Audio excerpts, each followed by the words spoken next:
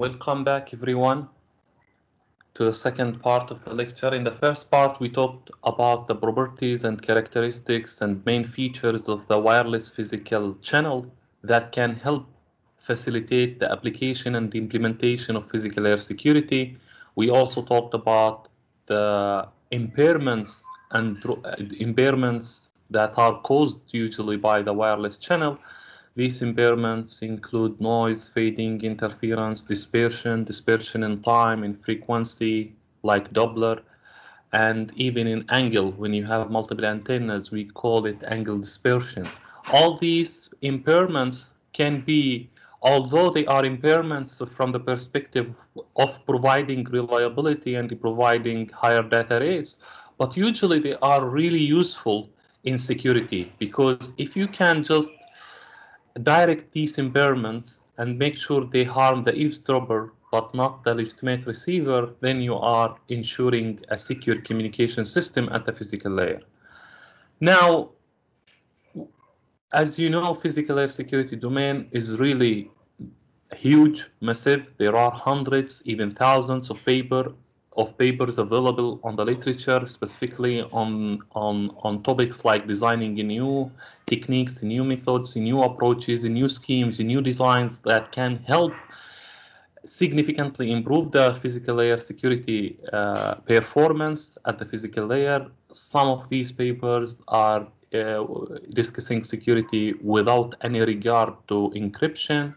Some are combining them with encryption, some are coming with different approaches. And we have so many papers that at the end of the day, if you just go and uh, if you just want to learn physical security by yourself and go to the field without uh, having any guideline or any uh, any mentorship or any guidance, you will be lost. So to, to facilitate the process of learning physical layer security for beginners who have no idea about physical layer security and we, they want to reach from the beginner level to the expert level. We we wrote a paper, me with my friends and my advisor, previous advisor, about physical layer security. This paper is a comprehensive survey that discusses and summarizes more than 460 papers around this number, more, more than 400 papers. So all these papers are summarized to you, and not only summarized, we classified them. We just looked at all the available techniques on the literature, and we divided them into categories so that we make it easier for researchers and people after us to learn, study, and extend on top of that to know the draw, to know the limitations of each technique, to know the possibilities, to know the impossibilities, to know the advantages, the disadvantages of each and every domain, what to know the future directions, what else researchers can do in the future, to know what techniques what techniques can really provide security without any reliance on cryptography to know what are the techniques that are not good to be used alone. All these and others and even lessons learned from the literature are all in that paper. Uh, I, we spent significant amount of time writing this paper, improving it, reading papers, understanding the literature until we covered everything possible. We can we, we just we just did we tried our best to make it as easy as possible for beginners and we discussed it from a simple perspective not information theory perspective but rather signal processing perspective and the practical perspective so that we make it even uh, easier for the industry to understand this domain and they try if they are interested in implementing or adopting physical layer security technique with their devices they can easily just go over this paper. So this paper you don't need anymore to go and surf the literature thousands of papers and get lost there. You just can grab this paper and enjoy it. It's not a paper it's a book. Like it's it's it's it's so huge that that we, if we want to write it in a form of a book, it will be more than 125 pages, 130. But it's compressed in small, small line font, small font size with a, with about like uh, 56 pages, double column pages with a font size of nine or or less, I believe. And so, so imagine the huge amount of information and the things with it.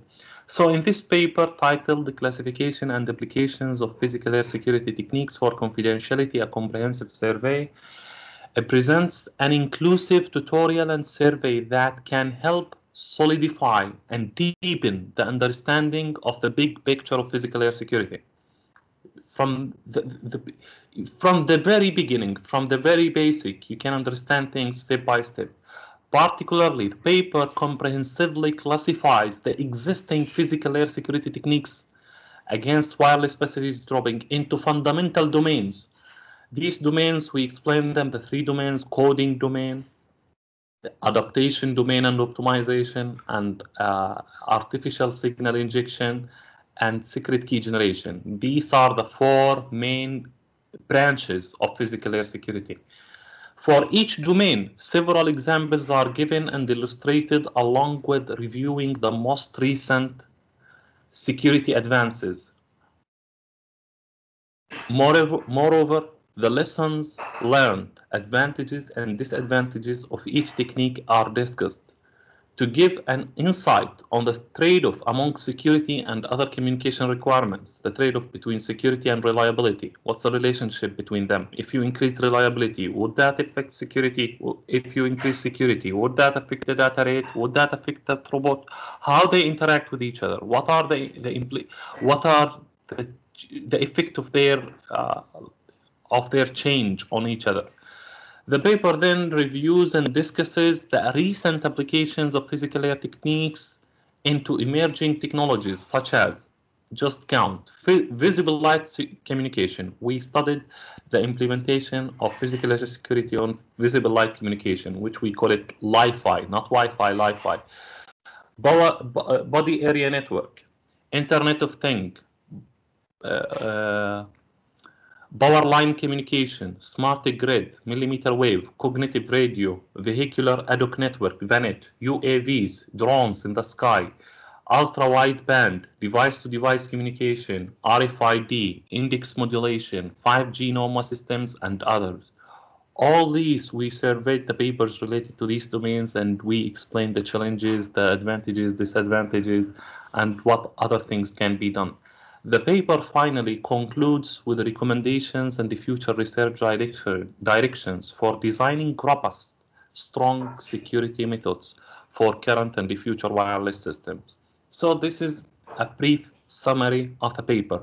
I hope you are excited by now by knowing the stuff that's covered in this paper and the things in there. So you just need to hover, go over this link, click on the link, you will be directed to the PDF version of that paper. You download it and you read it and try to cover, to read as much as you can from there if you are interested to becoming a very good security engineer. So I will ask some questions from it as well. Basically the stuff I covered in the lecture, but I recommend everybody. There are few papers, three to four papers. I want everybody to read them. This is one of them because you know in lecture sometimes we miss some of the details. We cannot explain everything in we, we, it's, it's so so big and so massive and there are so many deep technical details and insights that we sometimes forget to talk about. So if you want to get full comprehensive understanding of this whole concept called physical layer security you need to be, read papers read books read articles recent published articles in journals and this paper is good in the sense that it summarizes these papers for you and it just gives you an insight and makes you really good in this domain by just reading one paper instead of being confused and jumping from one one domain to another, one part to another. So that's the beauty and the advantage and the edge that this paper has over the other papers. Now, the information transmission. Before, to, to, to, design physical layer security techniques that are really robust and strong, you need to understand the information transmission process. And if you remember at the beginning of the lecture, I, I showed you uh, a picture that shows the physical layer design and how complex it is and uh, many lines, many blocks, many this, that. So the, the, this is kind of simple visualization of the process of transmitting your data. Because if you if you understand deeply how data is being transmitted, you will be able to understand how to how to hack this data, how to maybe you will get an understanding and you will get some sense of how an eavesdropper can really get your data.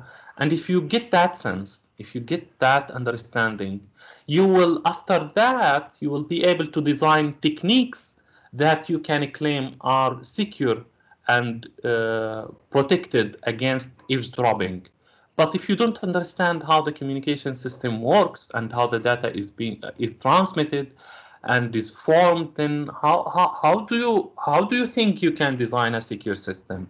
How do you think your system is really secure from an attacker?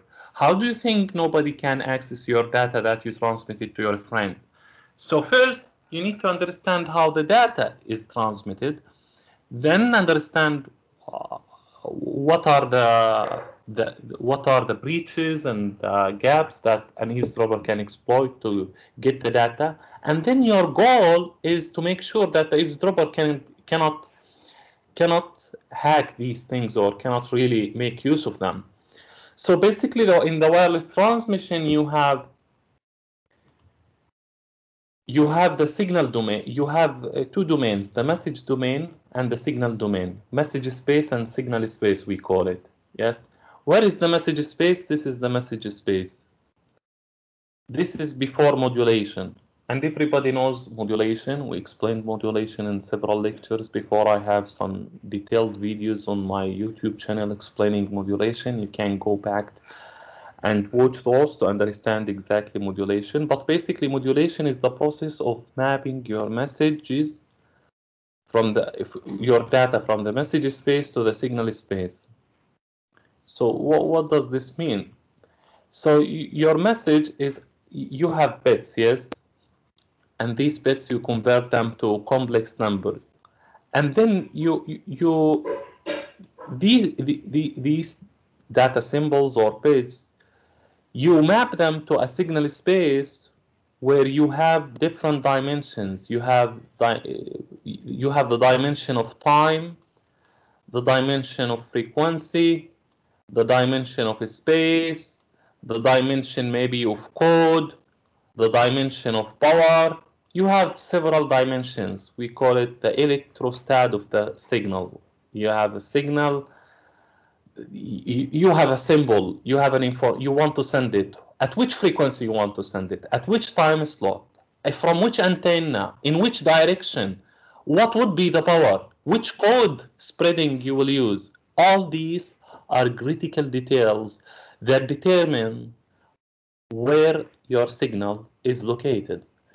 For an eavesdropper to be able to detect your signal, he has to know all this information. If the eavesdropper is not aware of this information or he doesn't have this knowledge, he will not be able to even synchronize with your data, not even try to decode, synchronize. So the, this is so critical. Yes, I understand. We many times, sometimes we assume that the eavesdropper uh, has no problem in this. Assume the eavesdropper has access to the data, he knows the frequency, he knows the time slot, he knows the direction, he knows the power, he knows every, but that's not practical because the eavesdropper is passive sometimes and those parameters are not necessarily need to be defined in the standard. A transmitter can adopt them, adjust them, modify them according to the needs of the legitimate receiver. So now you have you have the signal space and you transmit over the channel. And the channel causes distortion. The distortion is caused by the impairments I just mentioned to you in the previous part of the lecture, where we said we have the noise, the fading, the interference, the dispersion in time, the dispersion in frequency. We have the the dispersion in angle angular domain, and we have some other phenomena as well. So, so, so, what's the job of an eavesdropper to be able to detect this or decode this or get access to the message? First, he needs to to intercept, to, to, to, to, he needs the message to be within the coverage, within certain box, we call it the coverage box.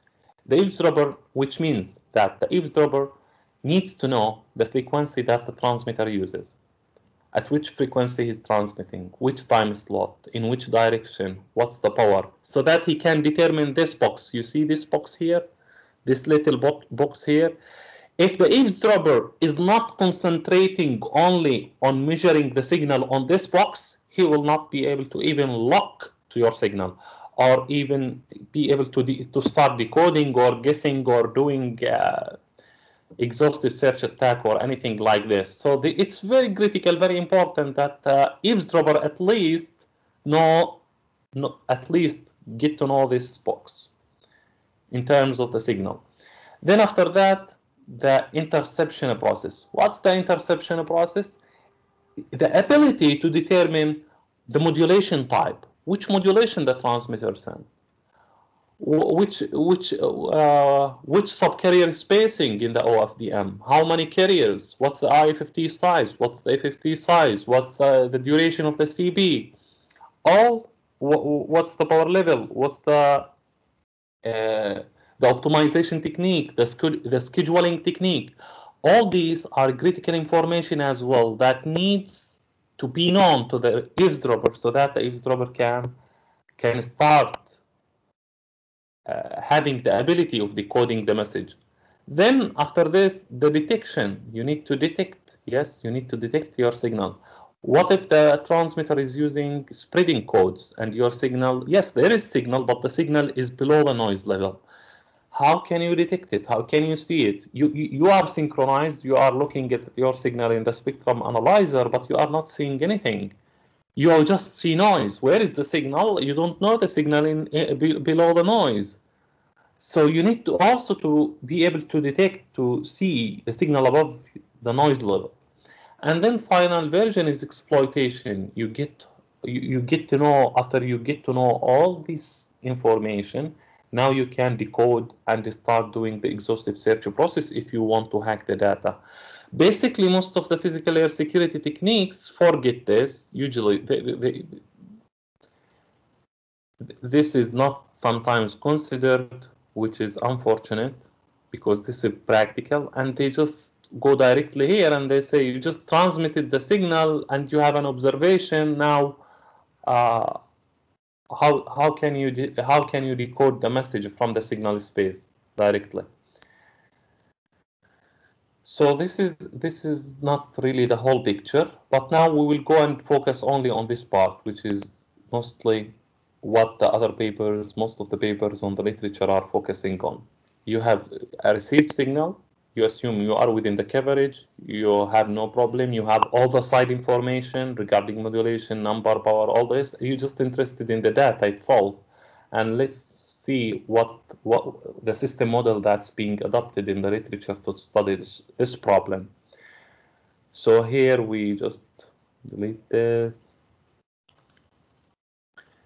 So here, here are the stages of the overall reception mechanism at the eavesdropper. The eavesdropper uh, has to go through the coverage phase, then the detection phase, the coverage phase, the detection phase. This is phase one, phase two, the detection, phase three, interception, phase four, exploitation. And the meaning of them the coverage we we just explained it. You you know the time window the time slot you know the frequency band the bandwidth the coverage area the direction the power all these details. The detection you need to detect the power of the signal energy detection. You need to use spectrum sensing technique to know that there is a signal and be able to see, focus on that signal feature extraction, interception is to know the modulation, number of carriers, filters, filters parameters like the alpha factor. You know, we use sometimes raised cosine. We need to know the alpha, how much spreading in the filter, what's the shape of the filter, number of carriers, the IFFT size, the spreading code, and then the exploitation when you start decoding your message and demodulating and decoding basically you try to get your message from the signal domain to the message domain And for this, to evaluate the performance, you use metrics like the bit error rate, the secrecy rate, the security gap, and so on and so forth. So these are the four main requirements which an eavesdropper should already satisfy or attain via additional algorithms in order to have successful reception, to start having the successful, successful reception. So now, now assuming that we reach this exploitation level, so what the system model? The system model, we explained it. You have your message and you have encoder and the, the, the, the signal goes through diff two different channels. You, since you have two different receivers, Bob and Eve, one signal goes to the Bob's channel, which is main channel, sometimes we call it, and eavesdropper channel, which is the Eve's channel. And you have a decoder and uh, at both sides, the, the receiver Bob and the receiver Eve. And Eve is the bad guy. Eve, Eve is the bad guy. We want to make sure that he does not get our signal and the signal can go only to Bob without being disclosed to Eve. Although Eve can have access to it because it's a wireless channel and you are broadcasting your signal in all the directions. So now you see that I used uh, the variables here, mx. So m is the message before the encoder and x is the signal after the encoder. And RB is the received signal, received signal at Bob, and M is the message again but estimated at Bob because you know the message the signal goes through channel and noise and you need to estimate this. And the estimation is always always not perfect has some errors. We call it erroneous. And therefore we put the hat on top of the message here you, you try to get M from the observation, RB or RE. Now, let me just give you another uh, system model that much better than this one or easier to understand with variables. And we are gonna uh, use different variables to to give you the, the to give you the the sense that it's not necessarily to use the same variables. You can use any terms, any variables you want and uh, as long as you are meaning the same thing so here here we have alice we have bob we have eve and we have the encoder and modulator and we have the demodulator and decoder at bob and eve. So we represent the message here the source information with w w and then it goes through the modulator. We have x now. X is the signal that we are going to transmit over the wireless channel. It goes through the main the eavesdropper this and that so here, let's agree on the variable meanings. Uh, let's assume W is the message signal, X is the signal after encoding and modulating. And then we have at the receiver after the channel, we have YB. Uh, B stands for Bob and Y is the received signal. What's uh, can you can you write Y for me?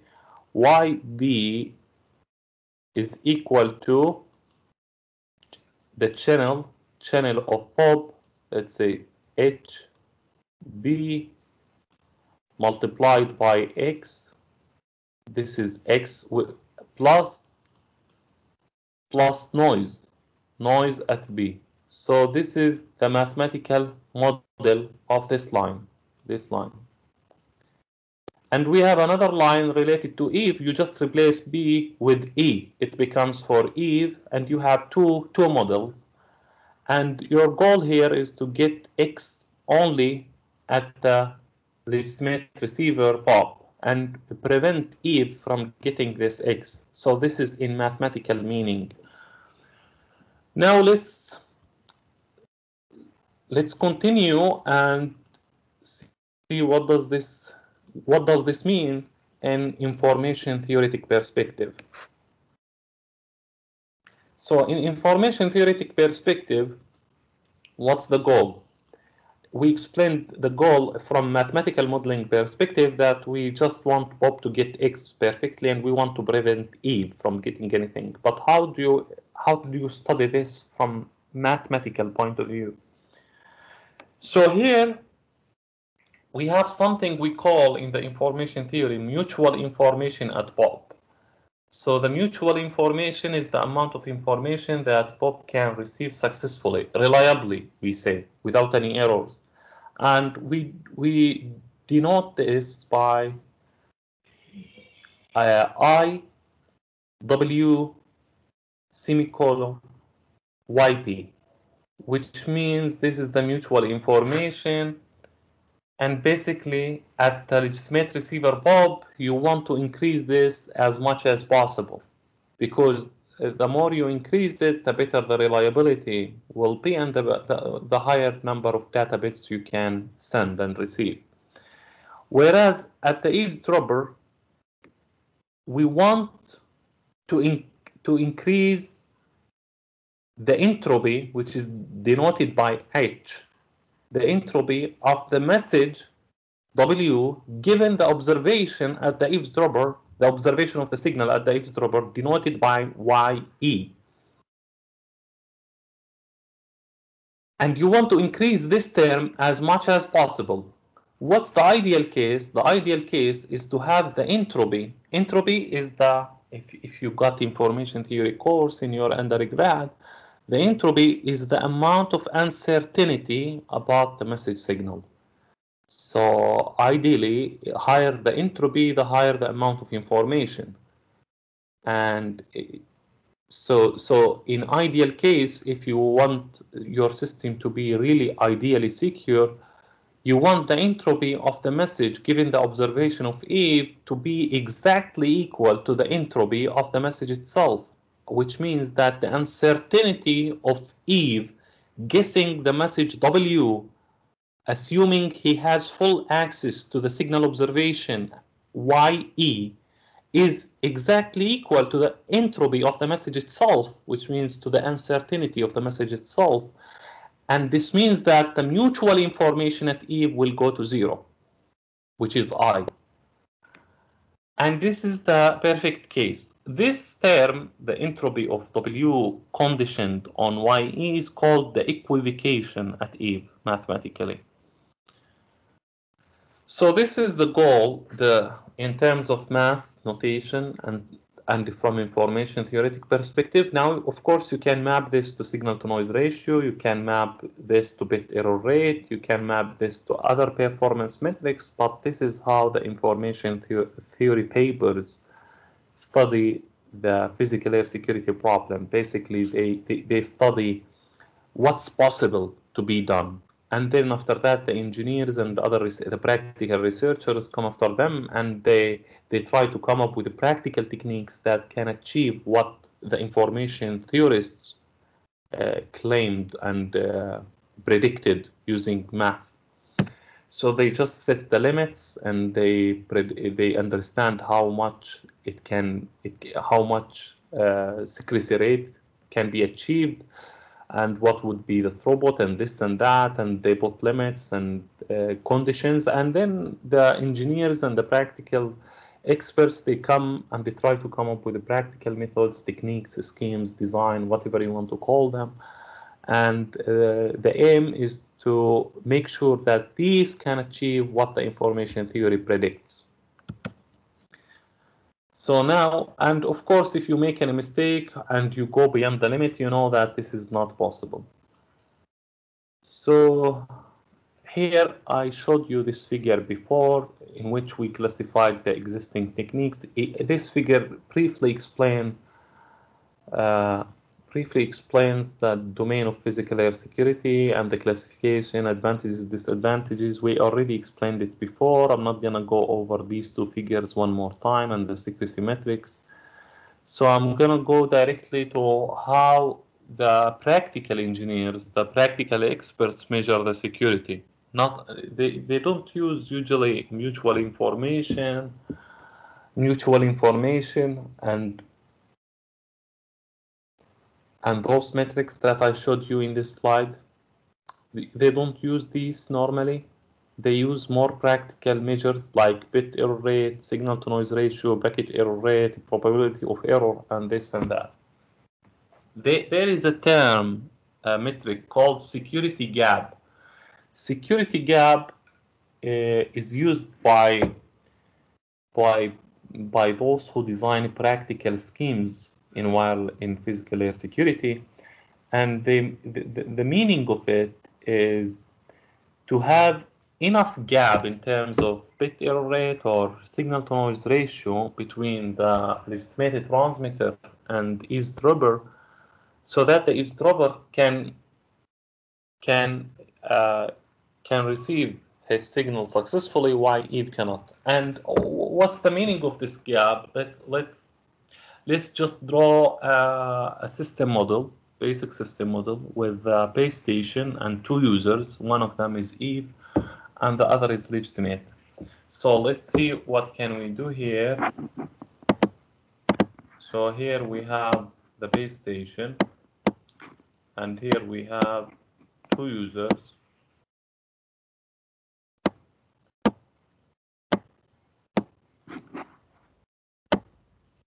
So this is user one and this is user two and let's assume that user 2 is Eve and user 1 is what? User 1 is Bob and you have your signal is coming in all the directions. So basically since uh, since the legitimate user Bob is closer to the base station, automatically, usually in most cases, if we don't have severe fading, the signal to noise ratio will be higher here. which means that the signal to noise ratio of this user, it will be this signal to noise ratio. At the, it, it will be the, la the larger signal to noise ratio, more power compared to noise because it's closer to the base station. The distance is lower and therefore the degradation in the power of the signal is less and accordingly the signal to noise ratio is higher. Whereas this user, since this user is really far from the base station, the signal to noise ratio will be really less than the previous signal to noise ratio. And for this, let's use another color and take this here and map it to this signal to noise ratio. So the, the, the distance a user that's really far from the base station can be mapped to this signal to noise ratio. Now, just take vertical lines from these points, vertical lines, until you hit the bit error rate curve. And tell me what's the bit error rate here. So let's say any value here. Uh, we are giving it a variable name, which means it can be any value. But let's say this is 10 to minus 1.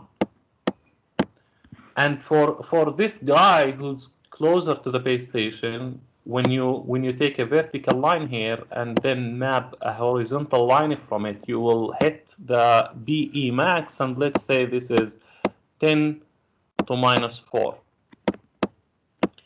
Yes. So so so the secu well, what's the security gap here then?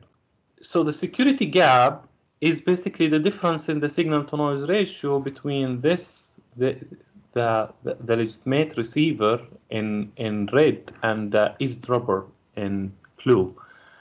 And we, we say that there is a gap of, if, if we say that this is 30 dB and this 10 dB, we say that there is about 20 dB difference, 20 dB uh, amount of gap between Bob and eve, uh, which means that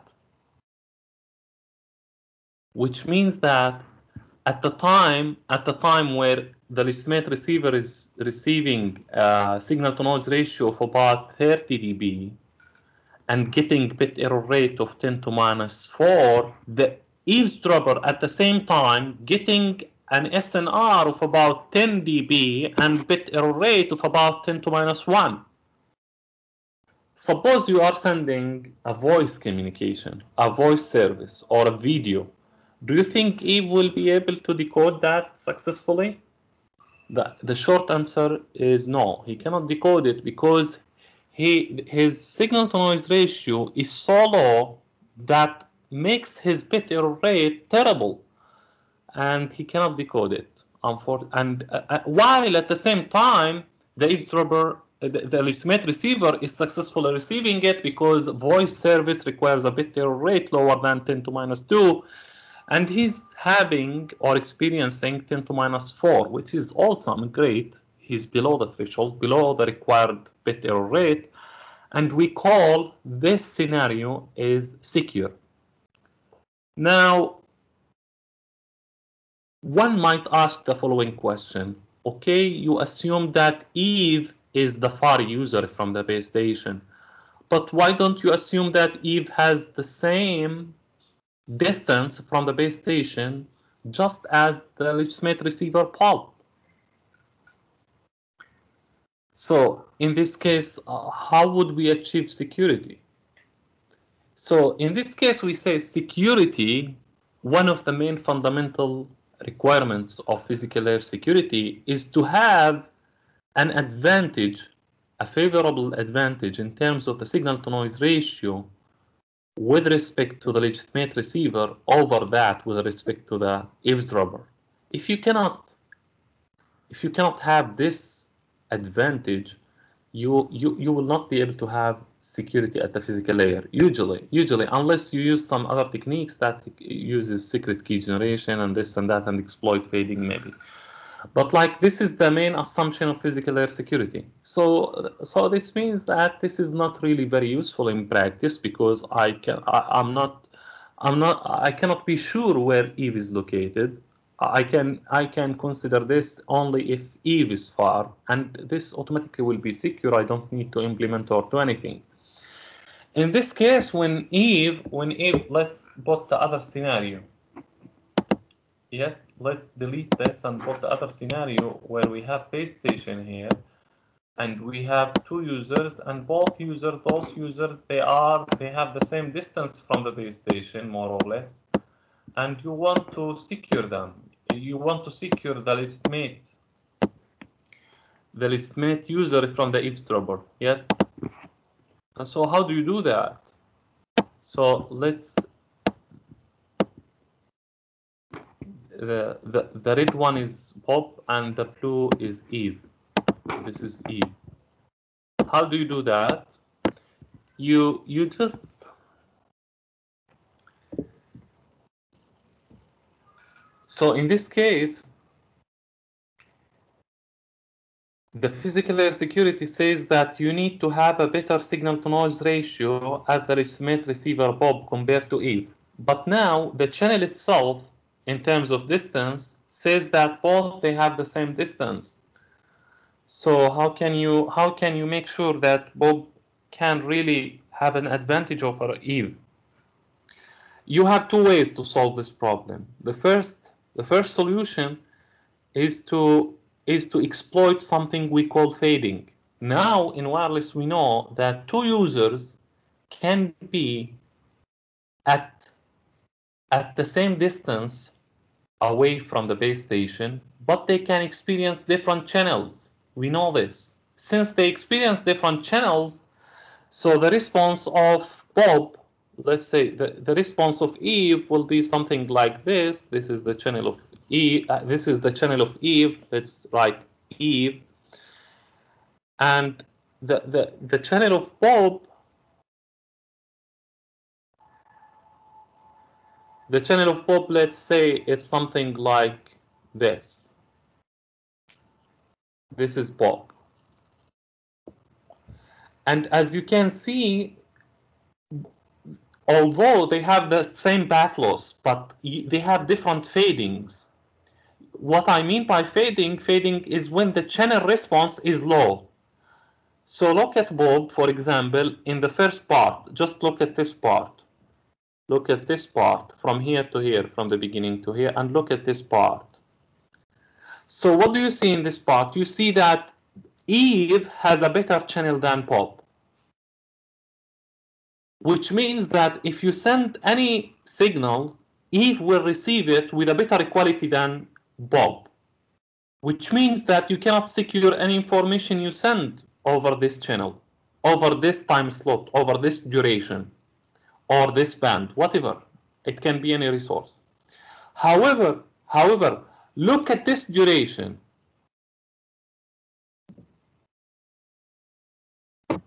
So the signal here at Eve in deep fade, which means that whatever you send to Eve, it will be multiplied by something like O 0001. So it's like suppressing the signal. The signal will be, when, when it gets multiplied by this number, if you have 10, if you have uh, 100, it will become like 1. You are suppressing the signal. Whereas here at the top, if your signal, you, you will multiply your signal. If it is 5, you will multiply it 10 times, it becomes 50. It's The channel is amplifying your received signal. So at that point, at that moment, when your channel response is better at the legitimate receiver compared to if you send your signal, you send your data. At that point, you don't need to do anything. You just send at the times or in the situations where your where the channel of the legitimate receiver is much better than the channel of the eavesdropper. This is, we call it fading, exploiting fading or or just the variation, uh, the random in the random instantaneous variation of the channel in order to provide and send or extract security. So now we have case one, we have case one, we, we exploited path loss, path loss, and path loss exploits distance. And we have case two where we exploited what? We exploited fading. So fading although fading is a foe, an enemy for us in in signal uh, reception, we don't like fading because it degrades our signal, but it turns out that fading is good for security. Yes, so it can help us uh, send some secret information, some like like you can send, let's say, in kilobit per second, kilobyte per, per second amount of secret information. This secret information, you can use it as a key between the transmitter and receiver, which is good. I mean, it's nice, practical, it can happen, and uh, even it can solve the problem where even Bob can have the same SNR.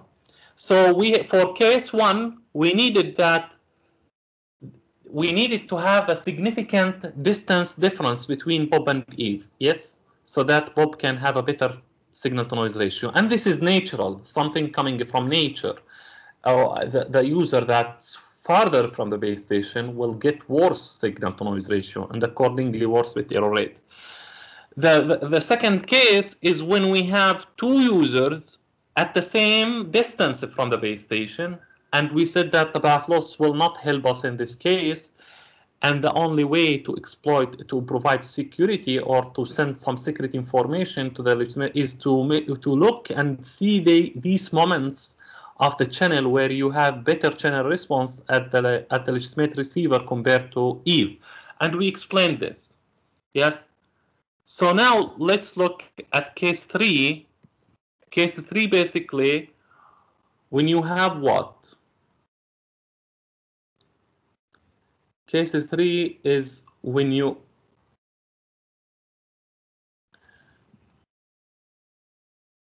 so case 3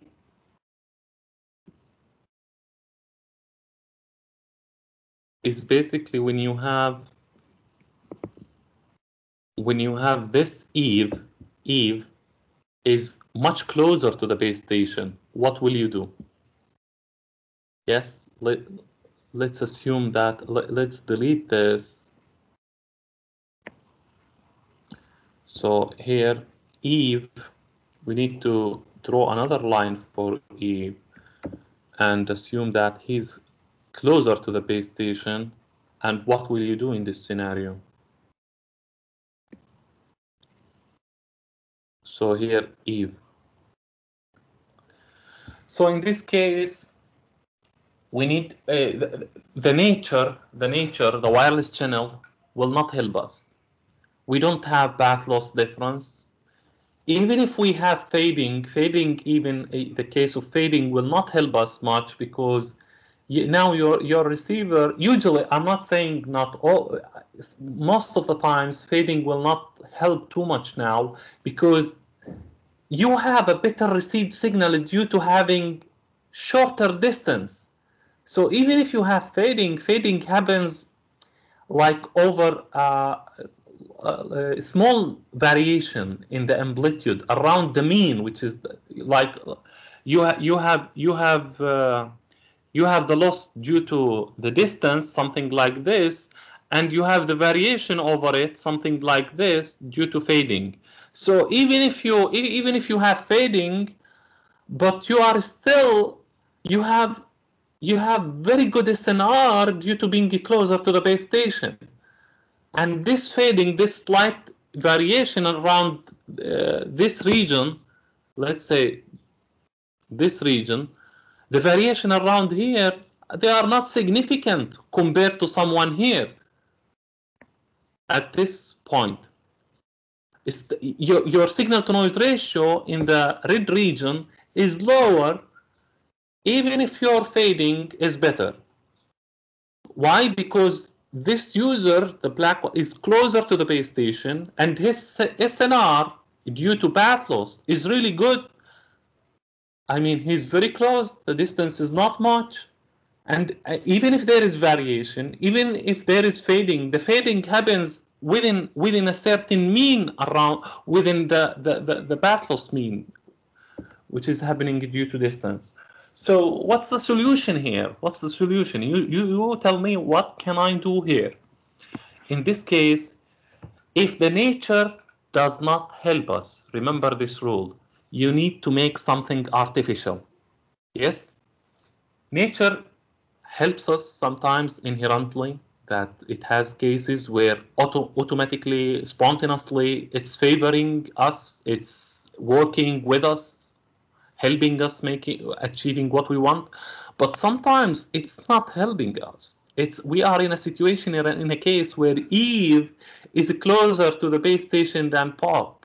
What are you gonna do? This is the moment where you need to invent. Invent and innovate come up with new techniques with new methods that can ensure this and if your method can work for the third case, it can work for all the other cases because this is the worst case scenario. Your security technique is designed for this case. So now let me give you two examples of how we can solve this problem. The first solution. So let's delete everything here. And let's draw again. We have we have the base station. And we have we have two users. We have this base stations. And we have two users. We have Eve and we have Bob. Bob in red Eve in blue and as you can see Bob is farther from the base station compared to Eve. So here we have the communication link with respect to Bob, and we have this communication link with respect to Eve. Yes. So now we know that the SNR at Eve is better, and if you don't do anything, Eve will be able to get his data. Uh, he will be able to listen and spy on Bob. So what can you do? I told you get innovative, be smart. Now it's time to be smart. The previous two cases were nature. You just need to discover them. But now you need to invent. Nature is not in your side anymore now. One solution is to, you know, the concept of beamforming and and instead of sending your signal, let, let's let's draw this for you. Usually how how we send our signal we send our signal in an omnidirectional case like this. Our signals goes in all the direction. But what if instead of sending your signal in all the directions and make it the same for both users you just beamform your signal beamform your signal just towards your receiver and make sure that Eve does not receive anything. There is no beams pointing towards Eve. So this is kind of limiting the coverage of Eve.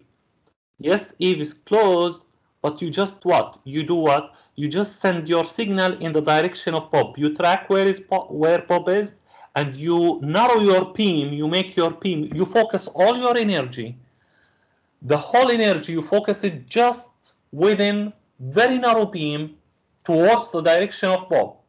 So what will happen here? You will get a beam like this. Instead of an omnidirectional transmission, you will get a beam like this. Okay? So this beam, now you have this beam just focused only on the direction of Bob and Eve is not getting anything, assuming that for the for the ideal case. However, Eve is usually close to the, we assume in this case that Eve is closer to the base station. And in practical system, in practical system, Eve can get access to the data, to the information if from the side lobes. If you studied side lobes from the antenna course, there is always side lobes what what does the side lobe mean? uh, you yes, true. You have main beam which is directed towards Bob, but also you have some side lobes and some leakage, information leakage. And Eve, if Eve uh, reception capability is strong and he's close enough to the base station, he can get the data from from the side lobes. So what's the solution to this problem? So we we we we we explain to you the solution where you can use beam forming and narrow your beam, make it narrow enough so that the signal can be only seeable and uh, detectable only within the within the direction of Bob. But if Eve is closer, he can get it from from the side lobes. So to solve this problem, we have a technique called in the literature called directional modulation. So directional modulation, DM, di directional modulation on top of beamforming your signal, you, you, you manipulate the phase of the transmitted signal in a certain way so that it can only the constellation of the the constellation diagram can only be meaningful at the legitimate receiver while the constellations will be making not a, no sense at the in the direction of Eve, especially those uh, those side lobes that Eve is getting the signal from. So this is the solution for this problem, directional modulation. Now, now, uh, okay, we understand we have beam forming, we have directional modulation. Now let's let's make things more complex, and let's uh, assume that Eve is somehow even Bob, they, they are very close to each other, and you cannot separate, you cannot really direct beams in a direction of one, and you you, you make sure that Eve does not get any signal. And in this case, Eve will be, will become here. Let's say Eve is here. Let, let's draw Eve again. Eve moved here. Eve is living in the beam of is living in the beam of Bob so now, now this is really tough. Now what can we do here? Eve is closer to the base station and he's exactly in the middle between the transmitter and receiver. He's really getting the coverage. He's really getting the signal, the main beam. So what do you do then? So you do the following. So we have we have something called artificial signals injection. So in this case, you you you design you, have your data and you want to send it to Bob, yes? But while you are sending it to Bob, this is your data. Let's say this is your data. You you you get another signal here on top of this, and this signal is designed in based on the channel of Bob and it has interference. It, it's directly using the same time slot, the same frequency, within the same angular direction, you just add a signal, superimpose it, superimpose it on top of the original data signal, and you combine them both, and you send to the uh, you send to the receiver. Now both of them receive this interference, and nobody is able to decode his signal successfully. So what will happen, Bob will ask the transmitter, please resend the signal again. I couldn't decode the message. I'm not able to decode the bits. So this is this is in round one. Round two, the receiver sends another packet, which is the same. It has the same data. So this is the signal, and and this is the data. Let's say x, x here, x here. This is the data x. He's sending it again, the same data, but but with different interference. So the interference here let's call it uh, let's call this interference the one I put in black which is coming in the power domain on top of the signal let's call it this uh, R1 so here we have R1 R1 and here R2 and this R1 and R2 they are function of the channel of the legitimate receiver. They are not function of the, they are not function of the channel of the eavesdropper. And as I told you before, while we were defining physical layer security and explaining some of the terms, the channel itself serves as a fingerprint. Now, you are not using the channel to generate randomness or this. You are just exploiting the channel response in order to design a signal that can cancel only at the legitimate receiver because the signal is function of the channel of the legitimate receiver. So what you do R, R here is function of something random, you are free, you call it A, and and there is H, there is also H, H bob 1. And this, the second signal is function of A also, or something, uh, a function of a random variable, and uh, also function of channel P, but in the second round, so you call it HP2. And you design these mathematically and so intelligently that they will cancel at the receiver side. And this is a solution, ultimate solution to all the cases in which Eve can be located at any location, whether farther from the base station compared to Bob, or in the same location more or less, or closer to the base station, or even within the same direction of the beam, which makes these techniques, uh, of course, it's not one technique, it's, it's, it's, it's bunch of techniques, many techniques, you can play with them based on your requirements, makes this technique really superior, really amazing and great technique to, to really achieve good secrecy, even in the most difficult, challenging cases. So this is intelligent artificial signal injections. The signal does not necessarily need to be Gaussian or Bernoulli or that. You can design it the way you like. It's a new degree of freedom that can, in top of adding security, you can design it to reduce peak to average power ratio, to reduce out of band emission, to reduce interference, to reduce dispersion, it's not only providing security and this these kind of designs these kind of uh, schemes are desirable. Why?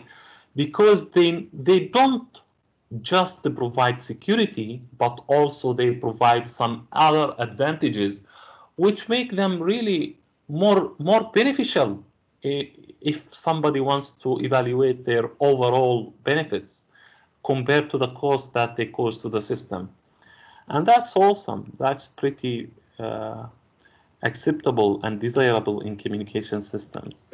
So this is what we are working with uh, our students and in our team, designing signals that that can really provide security for the most challenging and tough cases. But now a smart guy now might ask me and say, okay, this is just for downlink. Here we are doing downlink transmission. And downlink, in the case of downlink, downlink, usually you have a base station with so many antennas and you can beamform the signal, you can really add noise, you can, but what if I, I want to secure the uplink and the uplink is coming from a low complexity Internet of Things device here, uh, replace a normal user with IoT who has only one antenna who cannot do combination, who cannot do anything like this. How do you secure the transmission in the uplink?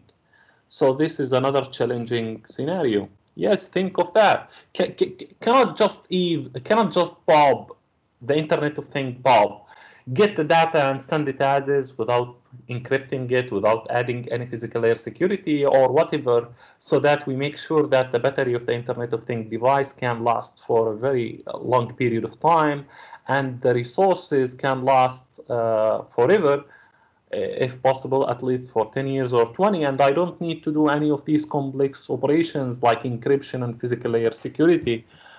And uh, but the physical layer security is applied from from the base station, so that's possible. That's possible, and this is a, a, a research direction we are working together with some of my students. We are addressing and focusing on providing solutions for the case of an Internet of thing device desiring to communicate with the base station and we need to make sure that the Internet of Things doesn't do anything, but still he can send his data successfully. Or he can do some little things which are acceptable within the complexity available at its side. But this is another challenging thing in the uplink scenario. We have techniques for this. Some of them are patented. Some of them are uh, still writing patents related to them because this this is what physical layer security is meant to be. Is meant to address the Internet of Things solution. We yes, of course, when you have powerful base station, you can do anything you want. But what if you have a low complexity device? What are you gonna do? And this is what we are doing. So here, back to the presentation. So here we have another figure where we have uh, for the case of fading where we have two different bit error rates. Uh, for two, two, two user here we have Bob and Eve at the same distance from the base station but one of them is experiencing good fading and the other is experiencing bad fading so we can see that there is a security gap security region between them. So here you have you have some gap between them and this is basically the gap here. So what, what does this mean? This means that suppose you are sending a video video communication yes? Let's say this is the line. And you, you send uh, VoIP VoIP communication voice over IP voice over IP let's say it requires 10 to minus 2 bit error rate and this 10 to minus 2 this means that if this Bob, this the solid line is Bob and the uh, dashed line is Eve, and here Bob, Bob can achieve this, can get 10 to minus 2 at SNR equal to, let's say 15. While Eve needs an SNR equal to 20 to achieve the same bit error rates. Yes, the bit error rate here, this is the point.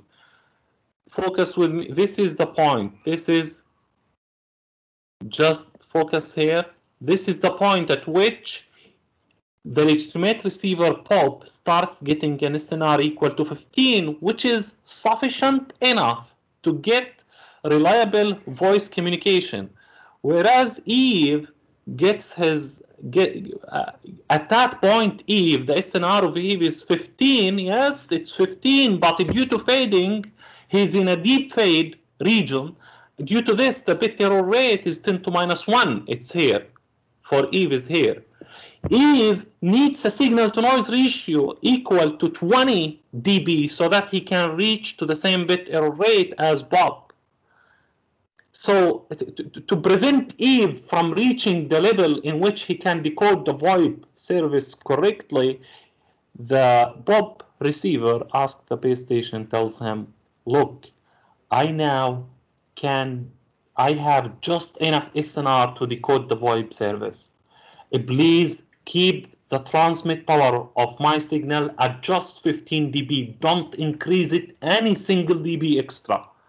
So what does this mean? This means that Bob, by instructing the transmitter, by instructing the access point or the base station, he's telling the base station, don't come to this region anymore.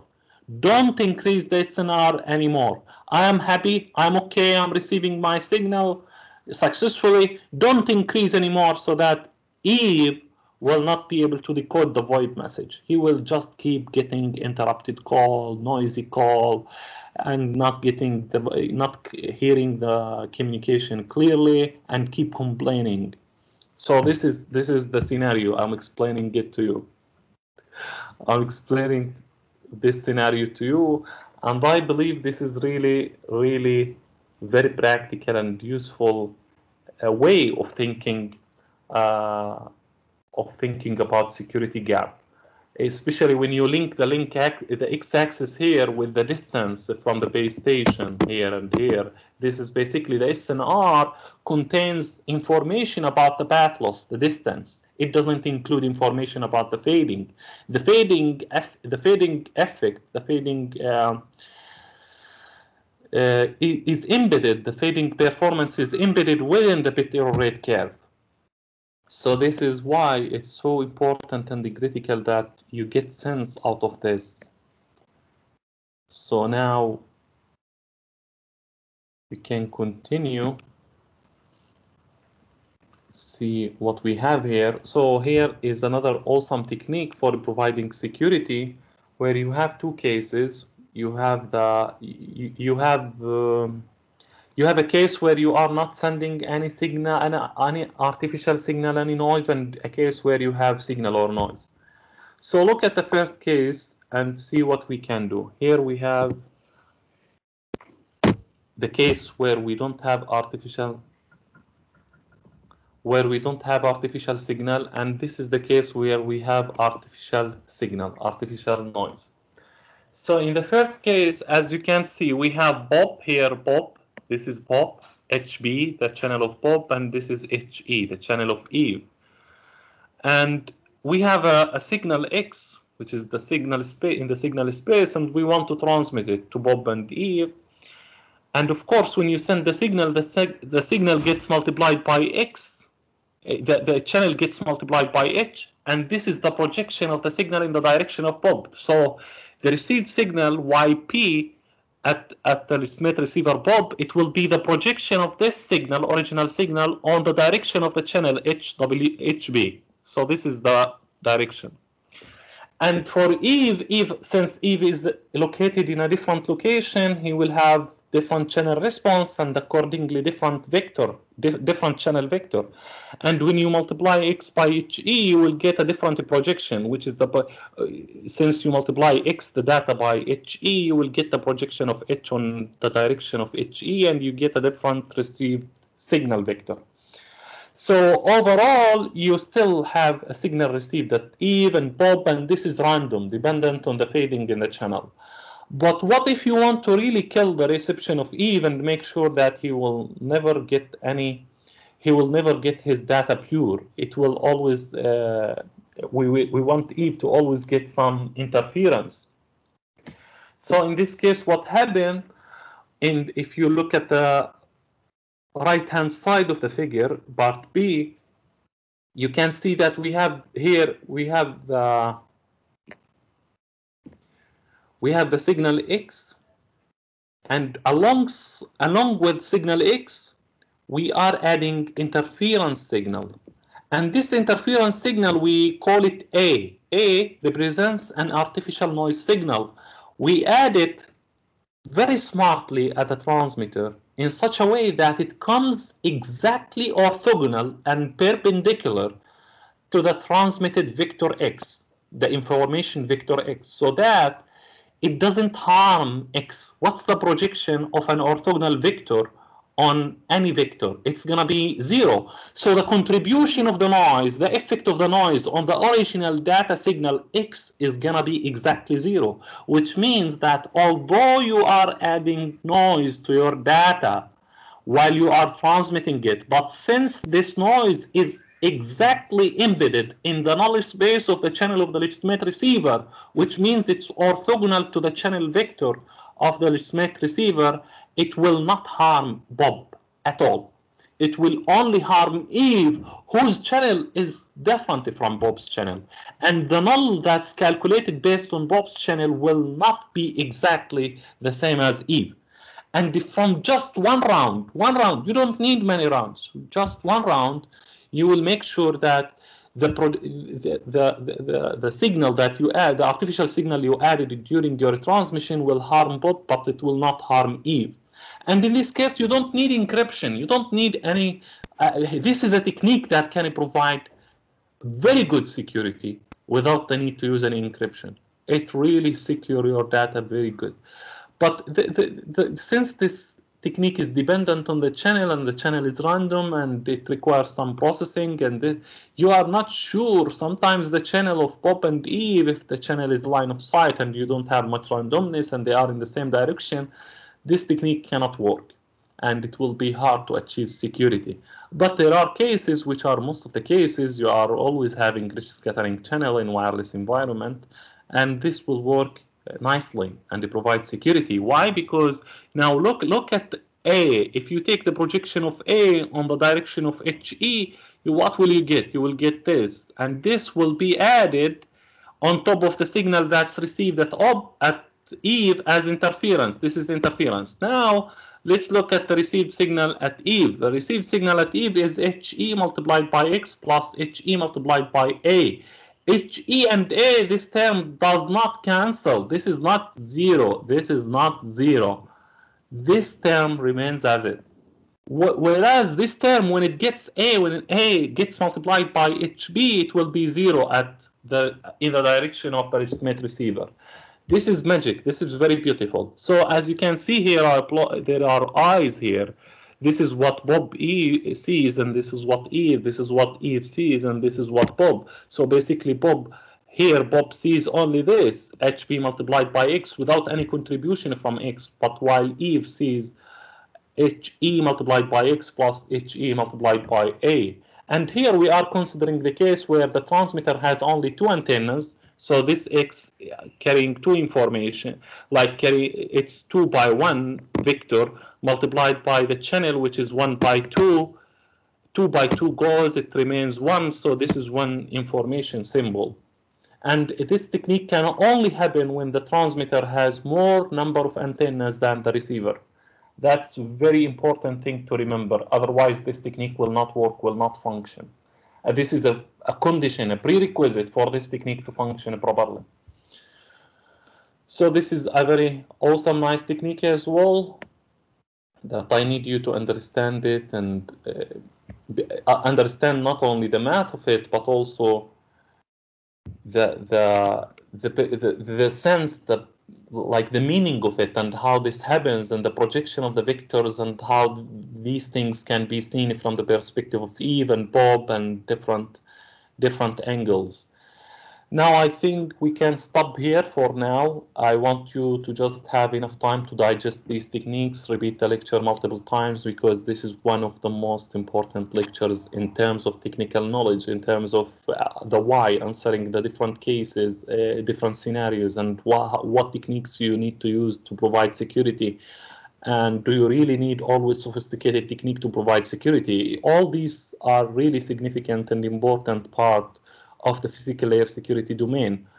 And uh, those examples are basics. They are not all the examples in the literature, but most of the other techniques and this, they are combination of them or derived from them. There are some other techniques we didn't discuss. We will discuss them next lecture. But for now, these are the key core techniques in physical layer security and they are explained from the perspective of why, why I need them, and perspective of where Eve is located, and the problem that exist that was exi that was exist existing in the literature because physical layer security when it emerged and it really start, started in 1975 and there was the assumption that to make sure that it works eve has to experience that channel and this can come only when Eve is far from the base station and which makes it impractical because I cannot be sure that Eve is always far from the base station. But when with the design of super signal superimposition, uh, signal uh, artificial signal injection, and the two techniques I explained to you the at the at the end of the lecture, those are the practical techniques that can really provide security even for the cases where Eve has better SNR than Bob. Because you can add something that can degrade Eve's performance and make it worse. So with this, we conclude our lecture and finish and stop here, and we can continue in next lecture with other parts and giving you some other examples related to physical layer security. So thank you everybody for your time and for being with us and take care, stay, stay blessed and see you in the next lecture.